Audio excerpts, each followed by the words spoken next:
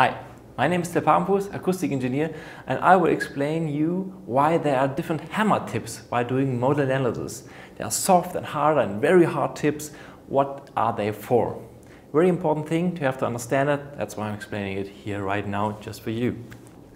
If you open one of these hammer you will see the paper how the sensitivity is and first grip goes to the hammer. You can see there is one tip. This is a plastic vinyl tip. This is a standard which can work for a lot of reasons, for a lot of applications. As you can hear, it's quite hard. Okay, but there are tips like this one here. If I put it on, it's like a condom. uh, it's rubber on top and it's safer now. And you hear the sound is different. It's the same desk, same spot, same hammer, but it sounds completely different. Lower frequency comes up. And this is what the hammer tip is about, which frequency you want to stimulate, okay? Um, to understand, if you have a low frequency motion, let me see um, on the playground. There are kids on the playground in the swing, they say, yeah, up and down, up and down. It's about half hertz swinging system, okay? Um, the kids say, hey, Bob, hey, Dad, give me a, give me a hip, give me some energy, yeah? I want to go up? Well, the engineer would say, okay, this swinging system needs an impulse.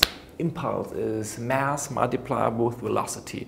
So I need something hard with mass. And he goes there, and maybe he has a baseball hitter, yeah? And he stands there, okay, kid, now the energy will come. Think, okay, finger up, finger up. Okay, hold on. Daddy's coming. Yeah, and we go for velocity. Yeah. like this. Okay, um, not the good way to treat children, but just from the physics side, what do you expect the swing will do? Would it go like, whoa, moving up and swing with half hertz, quite perfect in its first mode? Not at all. What's happening is if you had a hard impact, there's a wood hitting another wood, yeah, wood it goes like high frequency content will be in there. It will not go up. There's not enough energy for that. But the energy goes in this high frequency effects up there. If I want to have energy at the low frequency, what I do just by my native instinct, I stand there and say, okay, hold on. I'm soft hands soft, everything is soft, and we go like, wow. Yeah, this is a long motion, contact, contact, contact, contact, all the way up, no? In the motion, going in, and then the energy is coming in, coming back, and again, yeah. No? Then we go for the lowest low frequency content in the swinging mode, okay? I can show it how it works on my favorite here, my lawnmower. Um, if I attached one of the hammer, I'll use Artemis Suite 9 because there's a nice tool to find the perfect setup for each kind of hammer tip and so we can see which frequency we are addressing to.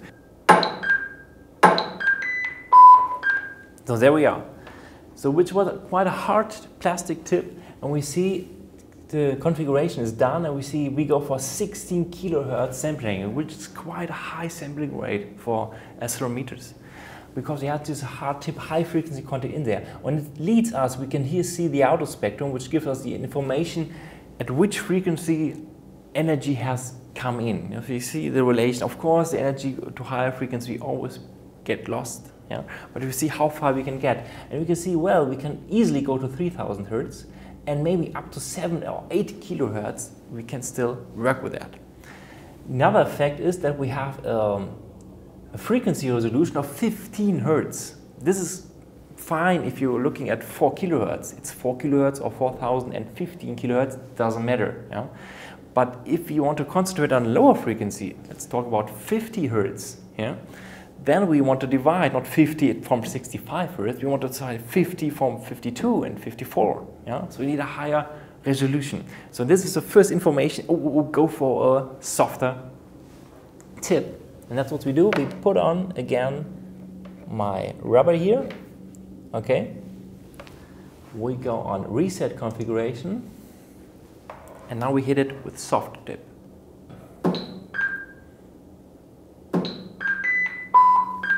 Okay.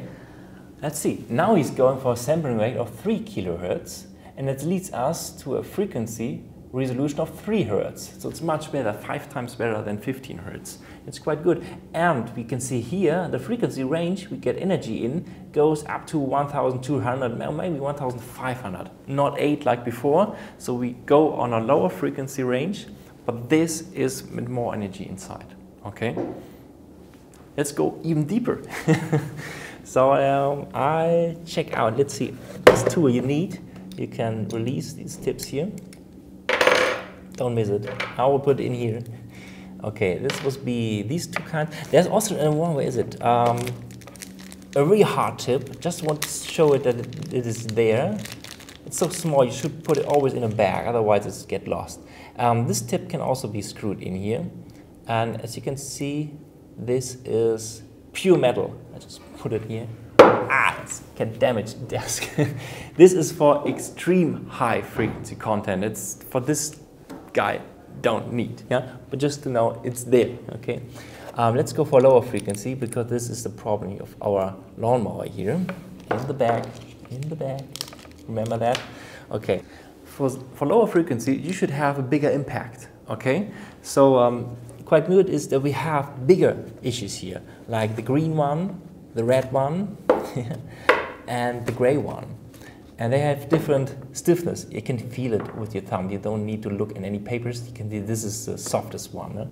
Uh, this is the sensor of the force. This is the impact hammer, and this is your tip. So take this side. Yeah, this, the force should be always the force sensor should be between the tip and the hammer. Okay. What the hell is this one here? Yeah, you can add an extra hammer, an extra mass to get more energy. It's an impulse, more mass. Yeah? So put an extra mass in here so there's more energy now in here. Boom. You see, it's not pack anymore. Yeah? Before the table would say pack, now it's boom.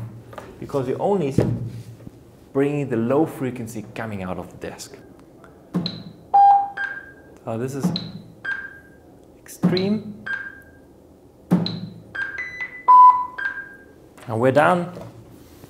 As you can see now, even go not 3 kilohertz, now 2 kilohertz sampling rate, and it leads us with this block class to 2 hertz sampling um, frequency resolution, which is quite good. But the disadvantage you can see, we can only reach up to uh, maybe 400 hertz, which is fine for this object. Still, we are interested up to maybe 200 hertz. For those of you who have experience with modal analysis already, you would think, I'm not setting my frequency resolution by using a special hammer tip. That's not the way, no. It's just an effect. If I have a soft tip and an extra mass load on my hammer, my object will take more time to calm down.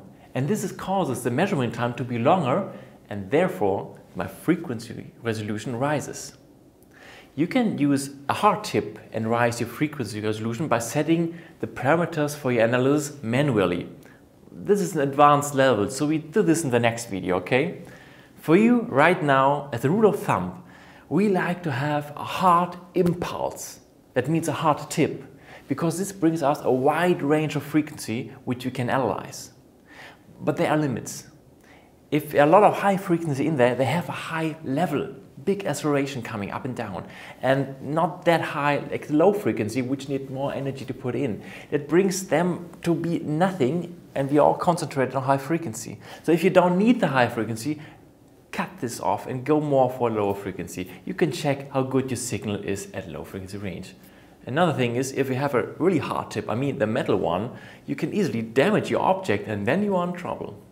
We'll see you. Bye.